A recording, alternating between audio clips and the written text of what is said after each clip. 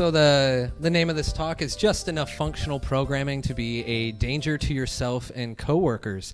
And uh, short story, since I'm condensing a 30 minute talk down to about 10 minutes, right? But short story, uh, don't introduce functional programming co- uh, concepts the first week on a new job. You will freak out your uh, your coworkers. They'll be like, "What the heck is this?" No, and they will reject your PR immediately. Just saying. That's that's kind of how this got inspired.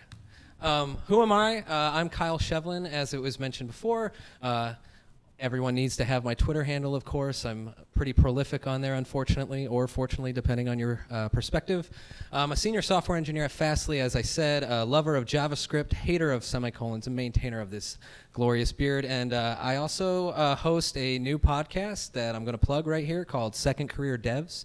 Uh, some of you who know me know that I was a pastor uh, before I became a software engineer. And uh, I'm just trying to find great stories out there and share them uh, with, with the world. And if you have great stories, let me know. Um, today we're going to cover some uh, functional programming techniques because you've probably heard it's all the it's all the rage right now in JavaScript especially, and um, I want to give you uh, just enough that you can actually start to delve into functional programming and you can dry up your code bases you can make them more easy to reason about and and hopefully be able to write um, code that's more easily tested and uh, just makes more sense. You'll start to understand as we go through this. Um, but we need to cover four topics to be able to do the basics. And those topics are higher order functions, purity, Currying and partial application, I promise you, currying is the most FP vernacular word there is in here. You will not be scared by functors and monads and applicatives and that kind of thing. And then uh, composition. So uh, but before we get into that, like some of you might not know what functional programming is, and so I thought it would be important to kind of define it. But functional programming is a bit of a pain in the ass to define. It turns out, um, because the formal definition is something like this: it's a style of building the structure and elements of computer programs that treats computation as the evaluation of mathematical functions. Who's bored right now just reading that? Right? That's a that's a it's a technically correct definition, but it doesn't really tell you much, right? it's unfortunately like just very not helpful. And it's like, it, this is the metaphor I decided to come up with. It's not that different from telling you that the definition of painting is to apply paint to a surface, because we can't define it based on a couple words. What we actually can see is functional programming is easier to see. It's easier to read than it is to define. So we're going to define it by the characteristics that differentiate it. So like with painting, like pointillism is something we can easily define, right? We can define it as art comprised of points. And then impressionism, we can tell it's different than pointillism uh, based on this is broad brushstrokes. Uh, brushstrokes. This isn't very detailed. Um, we can tell the difference by sight, and we can do the same thing with uh, functional programming and our code. Functional programming prefers these things called expressions versus statements. Uh, it avoids mutations it avoids side effects, and its logic is built through composing pure functions, which I will teach you what a pure function is uh, eventually. So this is some imperative code that you're seeing on the screen right now. Uh, imperative code means that we write code such that we instruct the program or the computer what to do line by line by line. In here, we create an empty array and we run a for loop. If you learn functional programming, you will never have to write a for loop again in your life. You will never have a global, uh, like, I on the, the let line, like if you forget let and now you have a global I sitting around and you've had that bug, um, I hear a few laughs. I, some people have had that bug before, but you'll never have that again in functional programming. But we run a for loop and we push every result into the, the results array, and apparently I have a typo there, so this program wouldn't work. Um, and then we return it, but that's imperative. You see how on each line of the code we tell it what to do. You've probably heard this fancy word declarative, right? Where like we declare what result we want from a program and we just let someone else deal with the implementation details, right? Someone out there wrote the map method on arrays and somehow it magically takes this function and it gives us back a new array, right? This is declarative programming and functional is a type of declarative programming. So you see here, we have the same function, we give it an array and we return the values one at a time multiplied by two. Functional would kind of look like this. We would have a couple functions. We would have a double function that takes a value and returns its double. we would have a map function which takes a function and then returns a new function that takes an array. That's, that's a key there. It returns a new function. Uh, returns an array, and then we run our map over it. And so making that double each function is the composition of passing double into map, and then an array into that composed function. I know I just said a whole bunch of words. Let me teach you them. So let's start with higher order functions. This actually makes up a lot of JavaScript, and you're probably doing this all the time without maybe necessarily thinking about the fact that you're using higher order functions. A higher order function just has to uh, obey one of these two or both of these laws. It accepts a function as an argument, or it returns a new function. So imagine having built uh, like an add function, right, that takes an x and a y and returns their summation. So a higher order function means I can actually pass add functions into add functions, into add functions, into add functions. It just, it can keep going down the stack. And JavaScript allows us to do this. This is actually pretty awesome. But in order to make the most use of this, we want to make sure that our functions are pure. Um, this is where bugs fall in your code all the time, is when you write impure functions. A pure function is one that gives the same inputs and will always return the same output without any side effects every time. So that add function I was telling you about, right? We take an x and a y and we return an x and a y. And you're like, Kyle, that's really boring. But how many times have you seen what seems to be a really simple function in your code and somehow you have a mutation, like on the impure example? Uh, you're walking through a, a pull request and someone has decided that they need to mutate some states somewhere else, or maybe they're trying to do like four things in the same function, right? Pure functions come down to something really simple and really easily tested. Like if you had this add function, you would know immediately how to write a test for it. You'd give it some data and you'd expect the, the data out. It would always be the same. We need pure functions in order to do functional programming. And, and pure and true functional programming languages like Haskell or uh, some of the front end languages that are coming out these days, such as Elm and Reason, like they will push you to use this all the time. You'll write everything in pure functions. Um, purity leads to easily testable functionality, as I suggested, but it also does this thing where it creates these trustworthy contracts between our functions. And that's a fact that we can uh, utilize throughout our application. And that leads us to the what I call like the meat of, and potatoes of functional programming and like getting into it. It's currying and partial application. And I literally mean meat and potatoes to some degree. Uh,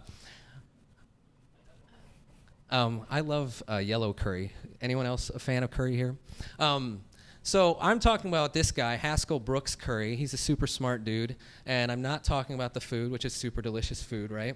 Um, Haskell Brooks Curry was this genius who um, his his claim to fame is what's called combinatory logic and advancing uh, mathematical logic in that way. I won't get into that. I don't have time for it. Uh, but his name is so important that it's become three different programming languages, including the most popular one you probably know is Haskell. But this technique was named after his name too. And currying is the technique of refactoring a function that normally accepts multiple arguments into one that accepts them one at a time. So the canonical the canonical curried function that you everyone learns the first time is the add function. That's why I've been talking about it. So add normally would take an x and a y. But if we make it a curried function, we're going to use a higher order function. See, I brought that word back. And we return a new function that waits for its second parameter, right? You, you catching that? So we get the x, we return a function that waits for the y. When we get the y, it finally evaluates. It doesn't evaluate beforehand. And then if you're already using ES6, uh, you get to use arrow functions to write these, and it's really elegant. You just you become really good at writing uh, argument, returns argument, returns argument, returns argument, and writing out your curried functions. So why was that useful? Well, it's useful because we can partially apply values to these functions and store them in closure. Um, Closure is like that classic JavaScript interview question, right, that all of us kind of stumble through. But in this case, what it really means is that a value is kind of held in state in the function, right? And we're waiting for the last value to finally use that, that state and return our output. So as you can see on my example here, I have uh, our add function from before, and I give it its first value, that x. I give it a 5, and now I've created a new function. I've created an add five function that I can continue to reuse again and again and again throughout my application and just keep logging out or keep adding new numbers to it. And I always get a new uh, summation. So currying is like really powerful, but you also have to understand that the argument order in which you supply arguments to your curried functions really matters. Um, and the general rule of thumb, as I like to describe it to people, is you want the most unstable argument to be passed last. How many of you are familiar with using array.map or array.filter or array.reduce? Go ahead and. Okay, so most of you are pretty familiar with that. If uh, if you have, how many have used it with Lodash, like the regular Lodash, right? Like, and, and in the regular Lodash, what do you do? You supply the array first, and then you supply the callback function. Or if you're writing it with the native method, you have an array, and you dot it with the callback function. But that kind of isn't the most useful order of functionality, right? Because I might reuse that function, that callback, again and again and again, but I might want to call it on many different arrays. This is what functional programming and currying does. We flip the order so rather than having an array and feeding it the callback, we have a callback and we wait to give it an array. Does that make sense? So in this case, I've made a new filter function that's actually a curried version. And what I do is the first argument it gets is the callback function, and then it returns a new function, and it's waiting for the array. So I make a filter, I give it that callback function. That's less than 10 is now a new function and I have multiple arrays, and I can use the same filter and supply it the arrays over and over and over again. What you can start to see is that like functional programming is a really useful way to build up complex logic for manipulating data. And as you grow in your JavaScript or your front end careers, that's most of what we do we take data in, we just get JSON dumps all the time. We take data in and we spit data out back on the page. And so I think that's really where the power of this starts to come in is when we start to realize how we can uh, compose and make these reusable functions throughout our application, which brings us to composition. Now I promise you this is probably the worst, the most boring part of it because it's going to bring you back to high school. And if you're like me, you dread high school and you hated it so much and you don't want to think about anything you learned or did then. Uh, maybe a few of you actually loved high school. I don't know. Um, but uh, I want you to think back, and not to the shitty parts, uh, but to the math parts, which might have been shitty parts. I apologize. Um, but do you remember this? You remember doing some math and you had an equation like f of x equals y? Anyone remember that? Okay, so in math, all functions are pure functions, right? They always give you one output for the input that you give. That's kind of nice, unlike our programs at work where like I call a function and eight things happen and I don't know why it's doing that. And now I have to spend an hour and a half banging my head against a wall trying to solve a problem, right? Um, math gives us pure functions. Functional programming demands we use pure functions. So as we said before though, we can give functions a function as an argument. And that's what composition is. So if you look at the bottom of this slide, f of g of x equals y is a composition of a g function and fed into an f function. So in programming, we rarely name functions a single letter, okay? If you do, stop. Uh, just don't do it. That, I feel bad for your teammates if you write functions that only have a single letter. Um, but nesting functions can be really, really ugly. Um, and so I have this example here. I've made three curried functions at the top. Um, they only take one argument, so I didn't really have to curry much, right? But they all take a string, and they return something. Uh, the first one's a scream, the second one is an exclaim, and the third one's a repeat, and then I supply it a string, right? And so what I get is I can create this, uh, this um, result by composing these functions together where I first scream at Bob, and then I exclaim at Bob, and then I repeat it at Bob. And if there's anyone named Bob here, I'm really sorry.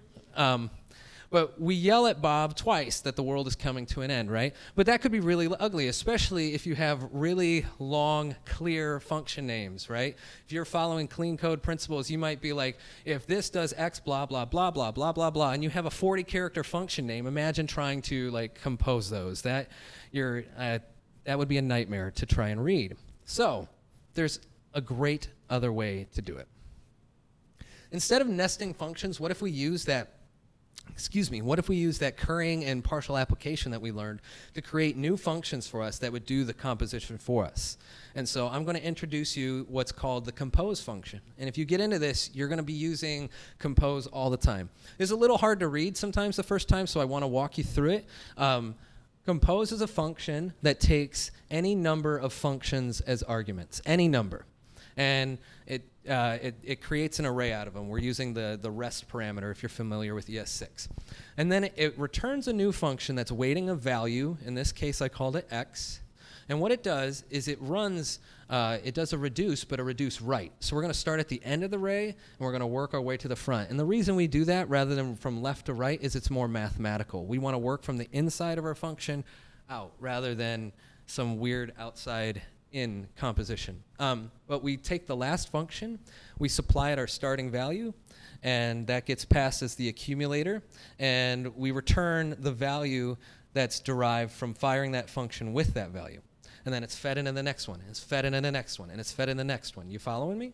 And eventually we get our, our end result. So that's compose. If you ever come across the functions pipe or flow, that's the opposite. It's the same function but going in the other order. Just want to make you aware in case you do. So we can take this compose function, and I've, I've already walked through all this apparently. The compose function takes a blah, blah, blah, blah, blah. all right, so let's take that, that those, um, those functions that we made to yell at Bob before, and let's make a much easier to read function that uh, can, can be reused throughout our application. In this case, we're going to pretend we've imported all those functions, and we create a new function, warn adamantly, where we compose scream, exclaim, repeat. And yes, I read that from bottom up, because as I said, composition is from right to left. So that's one thing you want to get in your brain is that it's from right to left. So we're first going to scream, then we're going to exclaim, and then we're going to repeat. And then we supply it its string, and we have a much easier to read line where const warn Bob equals warn adamantly our string, right? Anyone, everyone agree that's much easier to read than all the nested versions? So that is composition. What you end up doing in your applications is you end up creating uh, a bunch of functions that are really simple to reason about, and then you build up bigger and greater complexity by composing and combining them and reusing them. And you could see how this is really useful with array manipulation or object manipulation. And so um, I don't have time in a short talk to do any like live coding or show you how. So I made a repo that has some functional programming exercises that you are welcome to go try. I heavily borrowed them from the mostly adequate guide to functional programming. Um, I made them uh, slightly different and a little easier. Um, but that is a great uh, uh, book that can introduce you to functional programming in JavaScript, and I actually have it here in my resources. So I recommend The Mostly Adequate Guide to Functional Programming by Professor Frisby or Dr. Boolean or AKA Brian Lonsdorf. He has so many uh, aliases on the internet, I don't know why. Um, he also has a really great Egghead IO course, which I recommend to people. If you want to start trying this out in your own projects, I recommend these two libraries, Ramda or Lodash FP. And uh, they provide you with all these utility functions you're used to, but the arguments have been or, uh, switched to be more functional. And it has a, a curried function, so you can start to auto curry all these functions and get used to using that. And then uh, also, I recommend the YouTube channel Fun Fun Function. He has a number of uh, functional programming uh, tips, as many as many others. He's very hilarious. Um, one that's probably the the quintessential one to watch is one called Composition versus Inheritance, where you get to learn how to make a murder robot dog, and that's really nice. And then uh, lastly, there was a really great uh, video that came out a couple weeks ago about the fundamentals of lambda calculus, which is actually the logic and mathematics that kind of uh, make this all possible. And if you think this is all weird, like there was a Twitter thread today where uh, it was discussed that both like World War II, uh, some of its results are dependent upon functional programming. Turing machines are equivalent to lambda calculus, and if you've seen the imitation game, right? Like, or um, you know, NASA uses functional programming to send people to planets and satellites and all that stuff. So, I encourage you to learn it. Uh, I encourage you to come up to me and ask me any questions or follow me on Twitter, and my DMs are always open. So thank you very much.